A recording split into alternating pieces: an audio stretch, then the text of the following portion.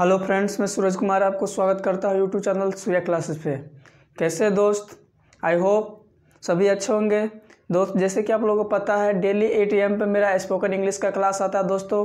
तो वो class spoken English का क्लास लेकर आ गए दोस्तों आप लोगों को बीच दोस्तों। तो चलिए दोस्तों, आज के क्लास में हम बहुत ही इम्पोर्टेंट सेंटेंस बहुत ही इम्पोर्टेंट इम्पोर्टेंट सेंटेंस के बारे में जानेंगे कि क्या, कैसा सेंटेंस ऐसा ऐसा सेंटेंस जानेंगे जिसको हम लोग मतलब बहुत ही कॉमन रूप से हम लोग क्या करते हैं, जिसका इस्तेमाल करते हैं डेली लाइफ में दोस्तों।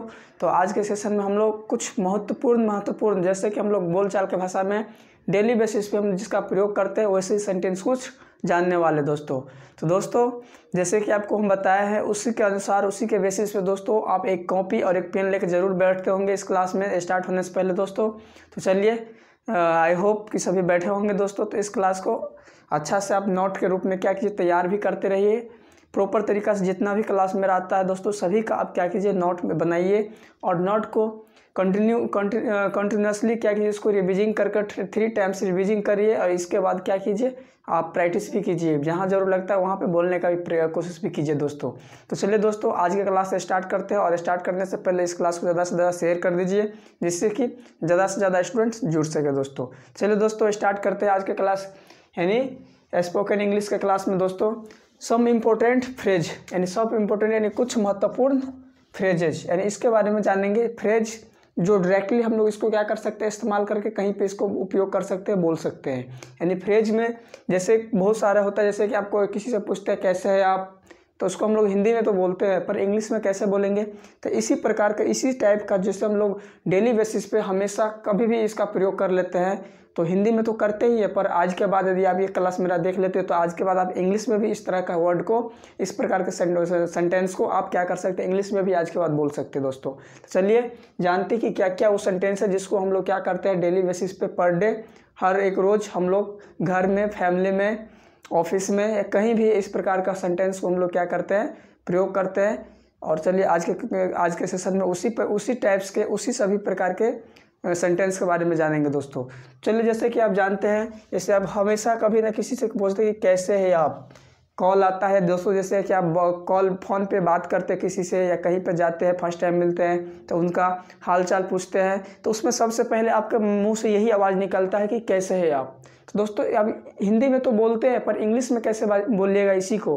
कैसे है आप? इसके लिए दोस्तों, आप इंग्लिश में क्या की बोलिएगा? हाउ आर यू डूइंग क्या बोलिएगा? हाउ आर यू डूइंग यानी हाउ आर यू डूइंग यानी, कैसे है आप? दोस्तों, जो कि आपको मालूम है पर डे हर रोज़ जब किसी से आप मिलते हैं फ़र्स्ट टाइम तो उसका हाल चाल उसका पता आप जानने के लिए आप सबसे पहला वर्ड यही आप पूछते हैं कि कैसे है आप? दोस्तों, ये इसको आप इंग्लिश में क्या बोलिएगा? हाउ आर यू डूइंग क्या बोलिएगा? How are you doing how are you doing का मतलब कैसे है आप? क्लियर दोस्तों? तो आज के बाद आपको हिंदी में कैसे है आपके लिए क्या प्रयोग करना है इंग्लिश में? हाउ आर यू डूइंग क्या प्रयोग करना है? हाउ आर यू डूइंग चलिए दोस्तों नेक्स्ट सेंटेंस की ओर बढ़ते हैं। मैं बहुत अच्छा हूँ आप बताइए। जैसे मान लीजिए आप पूछे थे किसी से तो उस समय तो उनको बोलना है by chance by the way आपको वो मिल गए पहले वही आपसे पूछ दिए कि कैसे है आप दोस्तों? तो आप, आप बोलते हैं ना क्या बोलते हैं? मैं बहुत अच्छा हूँ आप बताइए। ये बात बोलते हैं। जनरली दोस्तों सभी आदमी ये बात बोलते हैं जैसे आप किसी से पूछ सकते हैं यही बात वो व्यक्ति अभी आपसे पूछ सकते हैं।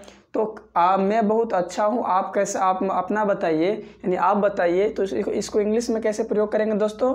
I am doing great I am doing great how about you यानी मैं बहुत अच्छा हूँ आप बताइए यानी अपने बारे में आप बता दिए कि आई एम डूइंग ग्रेट मैं बहुत अच्छा हूँ।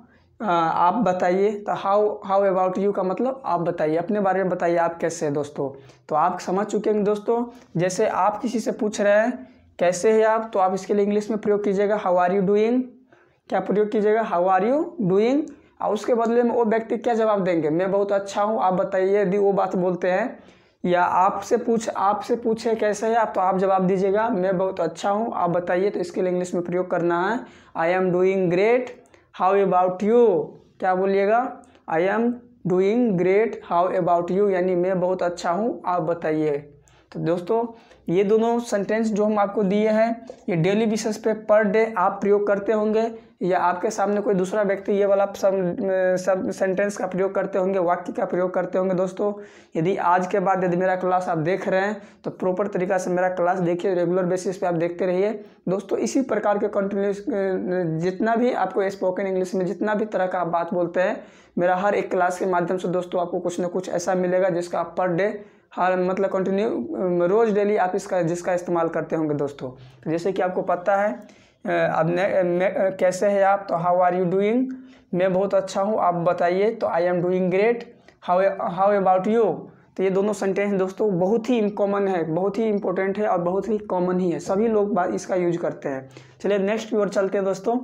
आप आप कहाँ की बात कहाँ लेकर जा रहे हैं दोस्तों? जब आप किसी से बात करते हैं और कोई बात को क्या करते हैं? बढ़ा बढ़ा कर बोलते रहते हैं तो क्या बोलते हैं आप? आप कहाँ की बात कहाँ लेकर जा रहे हैं? ये भी बात दोस्तों हम लोग डेली बेसिस पे इसका क्या करते हैं? इस्तेमाल करते हैं यूज़ करते हैं। तो आप कहाँ की बात कहाँ लेकर जा रहे हैं? तो दोस्तों इसको इंग्लिश में बोलने के लिए आप क्या प्रयोग कीजिएगा? Why are you making this about every things else यानी why are you making why are you making this about every things else यानी आप कहाँ की बात कहाँ लेकर जा रहे हैं, इसके इंग्लिश में बोलने के लिए बोलिएगा why are you why are you do making this about every things else यानी आप कहाँ की बात कहाँ लेकर जा रहे हैं दोस्तों क्लियर दोस्तों, जैसे कि आप देख आपको जैसे यहाँ पे है, पचास काम परे हैं। जैसे आपके घर में कोई है काम करने वाले या कोई भी व्यक्ति है जो काम जिसको जो जिसको जो काम सौंपा गया है करने के लिए और वो काम अभी पूरा समाप्त नहीं करके किसी से बात कर रहे हैं, जब आप आ जाते हैं या मान लीजिए मालिक आ जाता है किसी को तो क्या बोलते हैं? पचास काम परे हैं। बोलते हैं ना, पचास काम पड़े है, यानी पचास काम पड़े का मतलब बहुत सारा काम परे हैं। तो आप इसके लिए इंग्लिश में क्या बोलिएगा? There are plenty of chores pending दोस्तों प्लेंटी का मतलब होता है क्या? बहुत सारे काम। जैसे करने के बाद यहाँ पे नंबर पचास दिख रहा है तो इसका ज़रूरत नहीं कि प्लेंटी का मतलब पचास ही होगा, दोस्तों। यहाँ पे दस भी हो सक, दस भी हो सकता है, बीस भी हो सकता है, तीस भी हो सकता है, चालीस भी हो सकता है, साठ भी हो सकता है, पचास तो है ही। तो दोस्तों, यहाँ पे काम, जो बहुत सारा काम होता है उसको बताने के लिए प्लेंटी ऑफ़ चोर्ज होता है। इसका मतलब कोई फिक्स नहीं होता कि पचास ही होगा दोस्तों। यानी बहुत सारे काम को यदि हम एक साथ बोलेंगे, लेकिन पता नहीं है कि दो है कि चार है तो बहुत सारा काम को जैसे कुछ काम है तो कुछ में तो पता नहीं है कितना है, दो है कि चार है कि दस है। तो उस प्रकार, उस जगह पर हम लोग क्या करते हैं प्लेंटी शब्द का प्रयोग कर लेते हैं। तो प्लेंटी का मतलब क्या होता है? यानी बहुत सारा काम लगभग है जो पता नहीं है, कोई मतलब गिना हुआ नहीं है कि दस है कि फिक्स नहीं है। यानी बहुत सारा काम में दस भी हो सकता है, बीस भी हो सकता है, पचास भी हो सकता है। तो पचास काम पड़े हैं, इसके लिए क्या प्रयोग कीजिएगा? There are plenty of chores pending इसका चोर्ज का मतलब क्या होता है दोस्तों? काम। पेंडिंग का मतलब मालूम ही आपको? पेंडिंग का मतलब रुका हुआ होता है, उसको क्या बोलते हैं? पेंडिंग यानी पचास काम पड़े हैं। There are plenty of chores pending clear दोस्तों? तो आप इस प्रकार से, इस प्रकार का शब्द का सेंटेंस का रोज़ डेली पे तो प्रयोग करते ही हैं। लेकिन आज के बाद दोस्तों आप इंग्लिश में भी आप इसका प्रयोग कर सकते हैं। चलिए नेक्स्ट क्या है? इसका क्या मतलब है? जैसे कोई चीज़, कोई बोलता है तो आप बोलते हैं ना, इसका क्या मतलब है? समझाइए या बताइए। यानी इसका क्या मतलब है? इसके इंग्लिश इसके लिए इंग्लिश में आप क्या बोलिएगा? वाट डज इट मीन यानी वाट डज इट मीन का मतलब इसका क्या मतलब है? जैसे आप कोई चीज़ को, कोई चीज़ आपको बोल रहे हैं, आप नहीं समझ पा रहे तो आप क्या बोलते हैं? इसका क्या मतलब है? इसका मतलब जैसे इस प्रकार का शब्द को आप इंग्लिश में क्या बोलिएगा? वाट डज इट मीन यानी इसका क्या मतलब? क्या बोलिएगा? What does it mean next है दोस्तों, आप इससे किससे कैसे लिखते हैं? जैसे कोई चीज़ है, आप नहीं लिख पाते हैं आप नहीं जानते हैं तो कोई सामने वाला आप जब आपको बताते हैं या नहीं, आप उनसे आपको मालूम है कि उनको आता है तो आप उनसे पूछते हैं ना कि आप इसे कैसे लिखते हैं? यानी आप इसे कैसे लिखते हैं? तो इसके लिए इंग्लिश में क्या बोलिएगा? How do you spell that how do you spell that आप इसे कैसे लिखते हैं? How do you spell that क्या बोलिएगा दोस्तों? How do you spell that यानी आप इसे कैसे लिखते हैं? इसके लिए क्या प्रयोग कीजिएगा इंग्लिश में?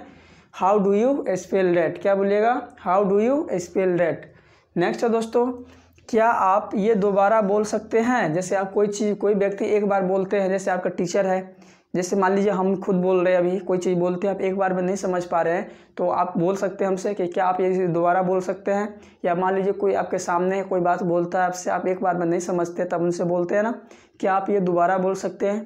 तो इसके लिए दोस्तों इंग्लिश में आप क्या प्रयोग कीजिएगा? क्या आप ये दोबारा बोल सकते हैं? तो इसके लिए इंग्लिश में आपको दोस्तों बोलना है could you repeat that please क्या बोलेगा could you repeat that please क्या बोलेगा could you could you repeat that please could you repeat that please यानी क्या आप इसे, क्या आप ये दोबारा बोल सकते हैं? Could you repeat that please दोस्तों नेक्स्ट क्या है? जो हो गया, उसे भूल जाइए। जैसे बहुत सारा जगह पे कोई बात हो मतलब जैसे आप बोलते हैं, बहुत सारे जगह पे इसका प्रयोग करते हैं।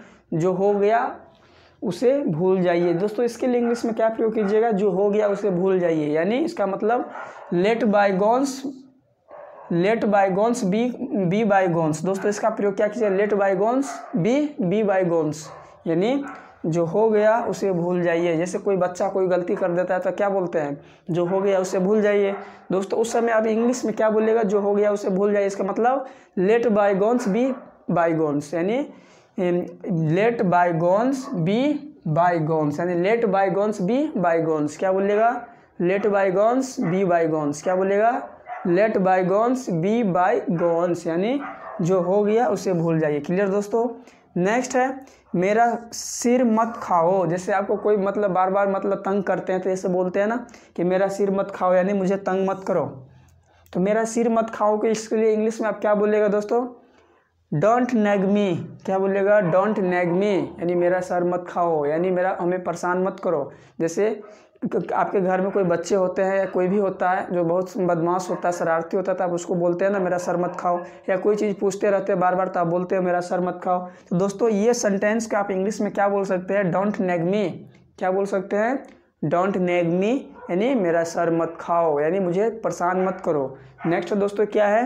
अभी तक सब कुछ अच्छा है। जैसे आप कोई चीज़ पूछते हैं, कोई काम चल रहा है यदि कोई पेशेंट मान लीजिए मान लीजिए आपके घर के कोई आदमी ऐसा है हॉस्पिटल में भर्ती है, किसी तबीयत गड़बड़ के लेकर, दोस्तों तो आप कॉल करके पूछते रहते हैं घर से कि अभी तक कैसा है? आप उनका उनका परिचय जानने के लिए कॉल से पूछते रहते हैं कि अभी तक सब सब सब अच्छा है? तो वो सामने वाला क्या, आप क्या बोलेगा इंग्लिश में? अभी तक सब अच्छा है? या क्या है, वो जानने के लिए जैसे पूछेगा, अभी तक सब अच्छा है? तो उसके लिए इंग्लिश में क्या बोलेगा? सो फार सो गुड सो फार सो गुड यानी अभी तक सब अच्छा है। जैसे आपसे पूछेगा ना, कैसा है? कैसा स्थिति है? तो आप बोलते हैं ना, अभी तक सब अच्छा है। यानी सो फार सो गुड यानी सो फार सो गुड यानी अभी तक सब अच्छा है। क्लियर दोस्तों? नेक्स्ट है, तुम्हें पता है, आज तो कमाल ही हो गया। दोस्तों, ऐसा शब्द आप ज़रूर मतलब मतलब पर डे आप या दैनिक जीवन में सुनते होंगे या बोलते होंगे। दोस्तों, यानी किसी से बोलते हैं आप, तुम्हें पता है, आज तो कमाल ही हो गया। जैसे कहीं पे कोई घटना होता है, कोई अचानक कोई ऐसा जिसको सोचे नहीं रहते, उस प्रकार का कुछ बात होता है दोस्तों। तो आप बोल, आप बोलते हैं या आपके सामने कोई बोलते हैं क्या तुम्हें पता है, आज तो कमाल ही हो गया। तो इसको इंग्लिश में आप कैसे बोलिएगा? क्या बोलेगा दोस्तों? यू नो डैट क्या तुम जानते हो या तुम्हें पता है? क्या बोलेगा? इसका मतलब क्या हुआ? तुम्हें पता है यू नो डैट यानी तुम्हें पता है कि नो डैट आज तो कमाल ही हो गया। समथिंग अमेजिंग हैपेंड टुडे यानी इसको क्या बोलिएगा? You know that something amazing happened today यानी तुम्हें पता है के लिए दोस्तों क्या बोलेंगे? यू नो डैट आज तो कमाल ही हो गया। इसके लिए something amazing happened today something amazing happened today यानी तुम्हें पता है, आज तो कमाल ही हो गया। यानी बहुत अच्छा बात होता है तो क्या बोलते तुम्हें पता है, आज तो कमाल ही हो गया। You know that something amazing happened today clear दोस्तों? तो इसी प्रकार से आप बोलिएगा, जब भी आपको इस तरह का सेंटेंस को मतलब वाक्य को जब इंग्लिश मतलब आपको बोलना है तो दोस्तों, हिंदी की जगह पर आप क्या कीजिएगा इसको? इंग्लिश में बोलने का कोशिश कीजिएगा। क्लियर नेक्स्ट है दोस्तों, अरे, सारे सारे सारे घर के काम परे हैं, और मैं बैठकर गप्पे लड़ा लड़ा रही हूँ। जैसे दोस्तों, आपको पता है, आपके घर में बहुत सारा काम होते हैं। अब मतलब किसी से कोई आ जाते हैं या कोई मतलब मिल जाते हैं, उस समय आप उनसे बात करने लगते हैं। तो बहुत समय बात करते करते बीत जाता है, आपको पता भी नहीं चलता है कि कितना समय हुआ। आपको ध्यान, वो उतर जाता है कि हमको काम करना है दोस्तों। तो उस समय जब आपको बात करते करते जब आपको क्या होता है, अचानक याद पड़ता है कि बहुत सारा काम बाकी है करना। तो आप क्या बोलते हैं? अरे सारे घर के काम परे हैं और मैं बैठकर गप्पे लड़ा रही हूँ। तो इसको इंग्लिश में आप क्या बोलेगा? ओह all the chores are pending and I am here gossiping gossiping क्या बोलिएगा?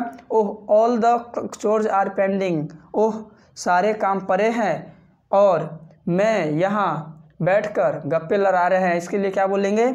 I am here gasping gasping क्या बोलेंगे? I am here gossiping gossiping, क्या बोलेंगे? ओह, all the chores are pending and I am here gossiping, क्या बोलेंगे?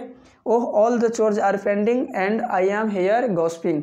दोस्तों, ये सेंटेंस आपको पता तो समझ चुके होंगे दोस्तों कि इस प्रकार का सेंटेंस को आप डेली बेसिस पे पर डे, हर दिन हर समय आप दोस्तों आपको कहीं भी इस प्रकार का सेंटेंस बोलने का ज़रूरी लगता ही है।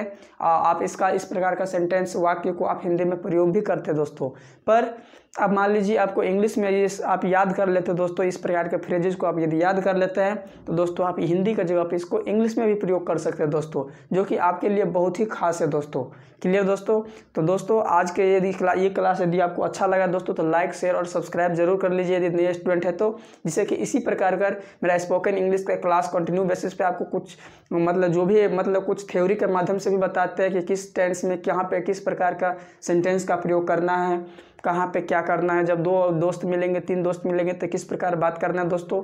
तो ये सभी प्रकार के या कहीं इंटरव्यू में जाइएगा तो आपको किस तरह के बात पूछागा कि कैसे आपको क्वेश्चन करेगा, आप कैसे जवाब दीजिएगा और कितना ही जवाब देना है कौन से क्वेश्चन का जवाब कितना ही देना है दोस्तों, ये सभी प्रकार का क्वेश्चन आपको इस क्लास के माध्यम से दोस्तों आप देखते रहे मेरा क्लास डेली बेसिस पे कीजिए, ज़रूर हम सभी प्रकार का जितना क्वेश्चन आता है इंग्लिश में, इंटरव्यू तक का बात सभी आपको हम करवाएँगे इस क्लास के माध्यम से दोस्तों। तो दोस्तों, मेरा ये चैनल सब्सक्राइब कर लीजिए, जिससे कि आपको डेली बेसिस पर मेरा जो क्लास हो, उसको आप नोटिफिकेशन मिल जाए और क्लास को अटैम्प्ट कर सके दोस्तों। तो दोस्तों, आज के क्लास में इतना ही, फिर मिलते हैं नेक्स्ट क्लास में, तब तक के लिए दोस्तों, टेक केयर, बाय बाय।